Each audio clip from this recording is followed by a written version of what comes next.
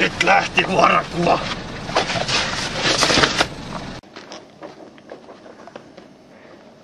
Tuolta me tultiin ja tänne me mentiin. Liisa Hyssälä, minä teen vaalilupauksia. Minä lupaan alentaa viinaveron hintaa.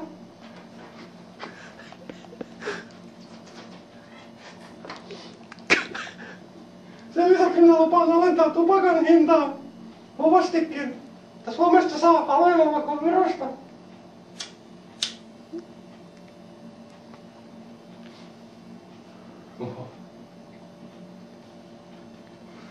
Kalja on hyvä.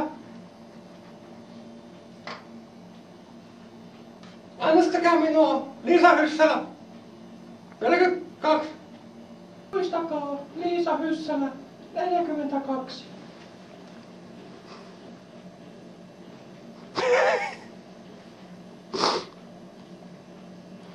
Olut on hyvä.